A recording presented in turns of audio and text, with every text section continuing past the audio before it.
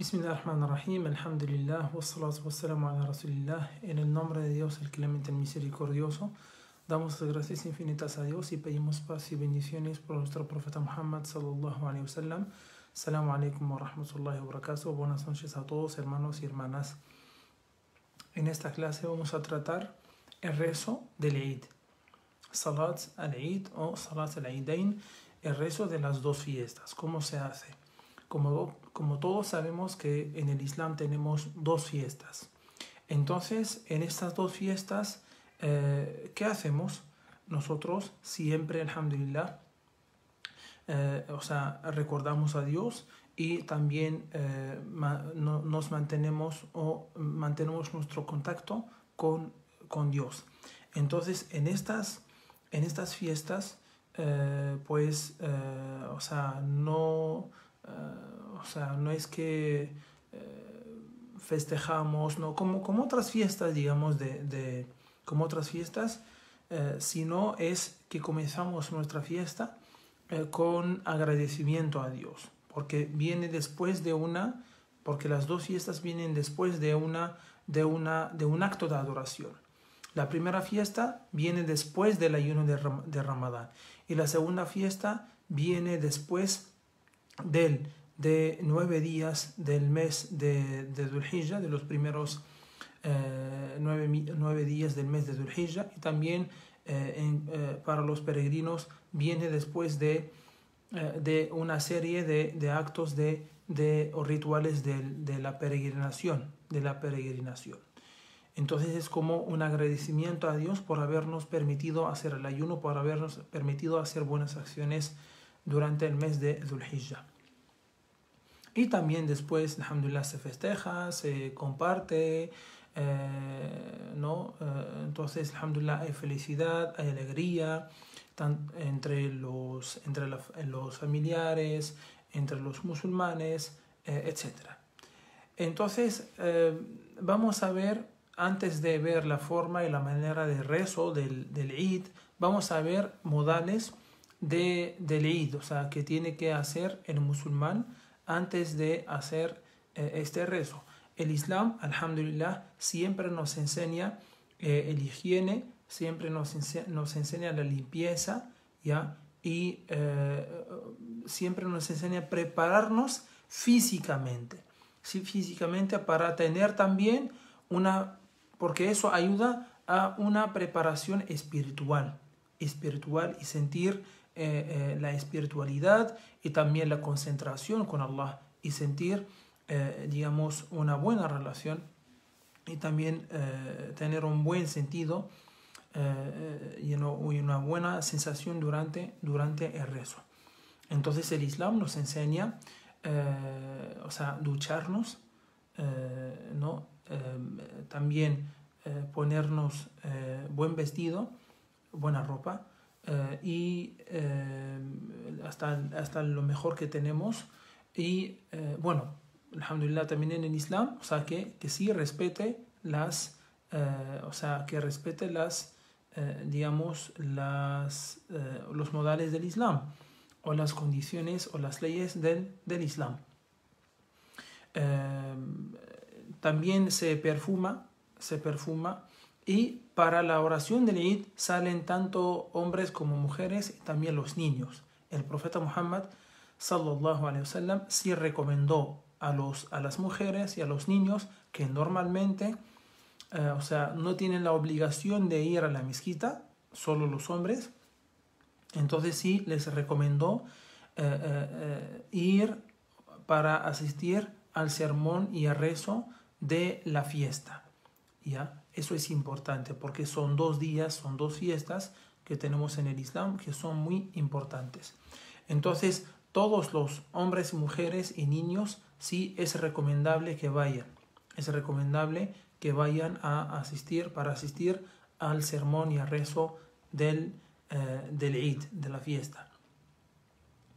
Eh, los, se dice que sí, el rezo del, de la, del Eid es obligatorio, pero eh, es, es una confirmada, por, como vimos, que los únicos rezos que son obligatorios son los cinco rezos diarios son los cinco, son los cinco rezos diarios. Entonces, eh, eh, también entre las, eh, las o modales del, del, día del Eid es ir, por ejemplo, ir, ir caminando, si se puede, ¿no? El que está lejos que puede venir en carro. Ir caminando, ¿ya? Y en el retorno, o sea, regresar en otro camino. No, eso es sunna, eso es, eso es, digamos, es preferible, no es una obligación pero si se puede hacer mejor. ¿Ya? También para el día de la, del, del Eid al-Fitr, de la fiesta del desayuno, es sunna, eh, es sunna comer, comer, eh, ¿no? Eh, antes de salir, al, a, la, antes de ir a la mezquita, o antes de ir al lugar donde se hace la oración del Eid. y es sunna también comer dátiles, ¿no? Una o tres o cinco o siete, ¿no? Así. Entonces, porque es un día de desayuno, ¿no? Así hacía el profeta Muhammad sallallahu alayhi wasallam. Eh, también yendo, yendo a la mezquita o yendo al lugar donde se, se hace la oración de Eid, se, se engrandece a Dios, se engrandece a Dios diciendo, Allahu Akbar, Allahu Akbar, Akbar, La ilaha illallah, والله أكبر الله أكبر ولله الحمد Dios es el más grande, Dios es el más grande, Dios es el más grande. No hay nada ni nadie que merece ser adorado excepto Dios. Dios es el más grande, Dios es el más grande y a Él pertenecen o a Dios pertenecen todas las alabanzas. A Dios pertenecen todas las alabanzas. Miren, siempre el musulmán siempre está en contacto con Dios, siempre muestra eh, la grandeza, de, o sea, muestra, digamos, eh, eh, la grandeza de Dios a través de lo que dice, ¿ya? Y como siempre digo, o sea, como decía al comienzo, que es un agradecimiento a Dios por habernos permitido hacer unas buenas acciones en el Islam que tienen una gran recompensa. También, entonces se, repite el takbir, o sea, dice y repite el takbir hasta que entre el imán eh, para comenzar o para dar el sermón, para pronunciar el sermón. Ahí ya todos, todos eh, dejamos de hacer el takbir. Y si también el imán durante el sermón dice Allahu Akbar, Allahu Akbar, también los orantes pueden repetir detrás de él. Y dicen Allahu Akbar como él. Las, las veces que él, que él dice, dos, tres, no, depende. Eh, entonces, después eh, después, como decía, o sea, ahora vamos a hablar del, del tiempo, del tiempo del, de rezo. Eh, bienvenida Lucy eh, León. ¿A qué hora se hace y cuándo se hace el rezo del, del, de la fiesta? normalmente se hace, se hace después, después de, del amanecer, después de la salida del sol. Como todos sabemos, eh, no, se, no se reza durante la salida del sol, porque hay satanáses o demonios que, que se inclinan hacia el sol. Entonces el Islam nos prohíbe, digamos, hacer rezos voluntarios fuera de los obligatorios durante ese momento. Entonces, eh, el, el, rezo de, de, la, de la fiesta se puede hacer 15 minutos después de la salida del sol. 15 minutos después de la salida del sol y tiene hasta antes, hasta antes del del, mediodía, hasta antes del, del mediodía. Ese es el, es el tiempo. Ahora, eh, ¿a qué hora le es recomendable al musulmán ir a la mezquita? Siempre temprano es mejor. Temprano es mejor porque el Islam nos enseña a apresurarnos a hacer el bien. Apresurarnos a hacer el bien y en eso hay que competirse, en eso hay que, que competirse, en las buenas acciones. Eh, entonces, lo que hacía el profeta Muhammad, lo que hacían los compañeros, que después de, rezar el Fajr, pues regresan, regresan a sus casas, se bañan, se visten, se perfuman y salen. Salen hacia la mezquita. Normalmente la fiesta o la oración de, la fiesta eh, o de las dos fiestas normalmente se hacen en un lugar fuera de la mezquita, normalmente.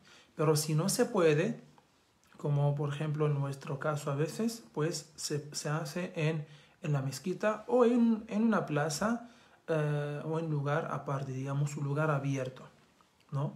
Un lugar abierto. Si se puede, no es obligatorio, sino en la mezquita también, o si también eh, eh, se por, por algún motivo no se puede, también se puede hacer en la mezquita. Por ejemplo, si hay lluvia o si hay nieve, ¿no? o hay algún, algún motivo, entonces se hace en, en la mezquita. Ahora, ¿cómo se hace el, eh, cómo se hace el rezo del Eid o rezo de la, de la fiesta? Tanto de la primera fiesta, la fiesta de desayuno, como la fiesta del, del sacrificio son iguales, se hacen de la misma manera. Eh, en, ambas fiestas el imán primero hace rezo, hace rezo y después el sermón, ¿no? Al revés de, lo que es el viernes. El rezo del viernes primero se hace el sermón y después el rezo. En el, día, en el Eid se hace rezo, después el sermón. Ahora, el, el rezo del Eid consta de dos rakas de dos rakas nada más, tanto de la, del, o sea, ambas, ambas fiestas, como dije, eh, tienen, o sea, el rezo se hace de la misma manera, tiene, consta de dos rakas. En la primera raka, después del, de, del takbir inicial, del takbir de la prohibición, del takbir del haram, Allahu Akbar, digo seis veces Allahu Akbar, así, Allahu Akbar, Allahu Akbar, Allahu Akbar, Allahu Akbar, Allahu Akbar, Allahu Akbar. Y recién leo el Fatiha y otra sura. O recién el imán lee el Fatiha, ya, surat al Fatiha. Y después eh, es una también, también leer surat al-A'la.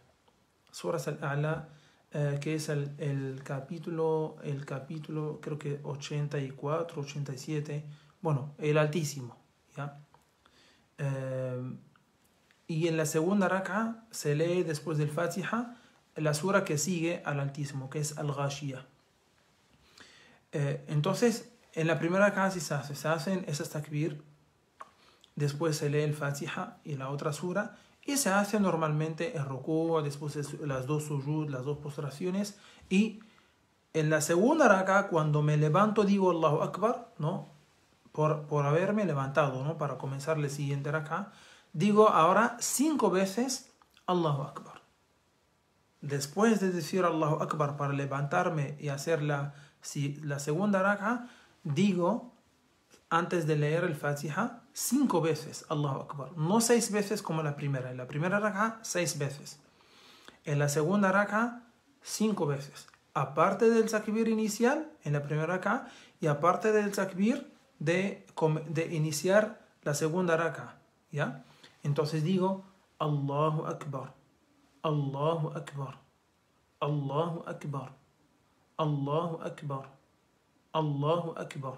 Cinco veces y leer el Fatiha y después otra sura.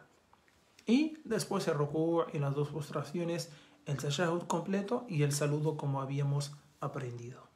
Y así se hace el rezo de las dos fiestas que tenemos en el Islam. Eh, eh, la lectura del Corán se hace en voz, en voz alta, como el rezo del viernes, como el rezo del Fajr, ¿no? Eh, se hace en voz, en voz alta. ¿ya?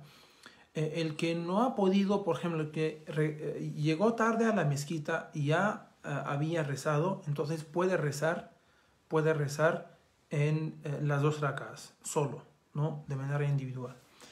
Para el rezo de Eid no se hace adán ni iqama. No se hace el adán, que es Allahu Akbar, Allahu Akbar no, el llamado a la oración. Tampoco se hace eh, el segundo llamado para comenzar el rezo, ¿ya? que es lo que se llama al-iqama, no se hace, solo se reza de frente. ¿ya?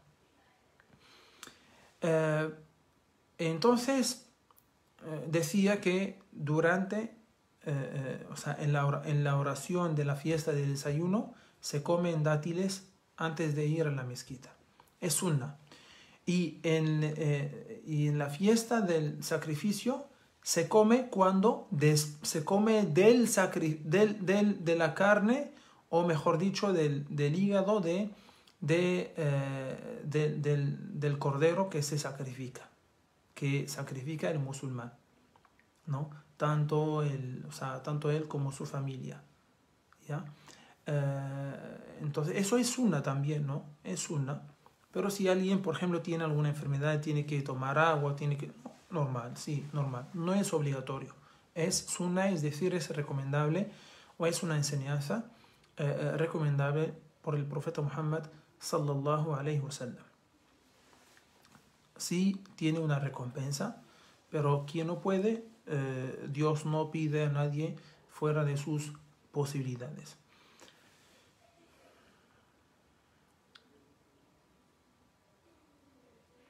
Entonces, en el retorno, como decía, bueno, después del, rezo se hace el sermón, se hace el sermón, eh, y después del, sermón, o sea, en el retorno, eh, en el retorno, pues si se puede retornar, eh, si se puede caminando, mejor, si no, en carro y también retornar, digamos, por otro camino, por otro camino.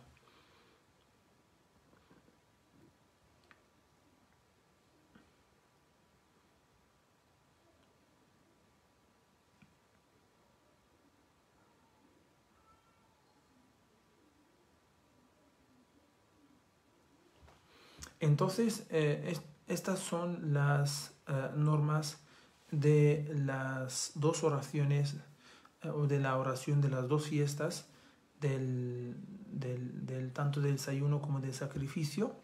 entonces, pido a Allah subhanahu wa ta'ala que nos, que nos haga alcanzar, inshallah, el próximo mes de Ramadán y también la fiesta del desayuno y después inshallah también la fiesta del, del sacrificio. Eh, espero que eh, esta clase haya sido de, de, de, de, utilidad y de gran beneficio para todos nosotros. Amén. Alhamdulillah Rabbil Alamin. Y inshallah la próxima clase veremos otros rezos ya que son de sunna confirmada. Uh, wassalamu alaikum wa rahmatullahi wa barakatuh.